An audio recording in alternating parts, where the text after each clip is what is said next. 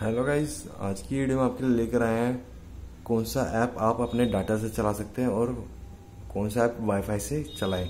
तो guys video start करने से पहले आप वीडियो को लाइक करें चैनल को सब्सक्राइब करें और बेल आइकन दबाना ना भूलें। तो गाइस वीडियो स्टार्ट करते हैं। तो गाइस सबसे पहले आप सेटिंग ऑप्शन है सेटिंग पर क्लिक करें।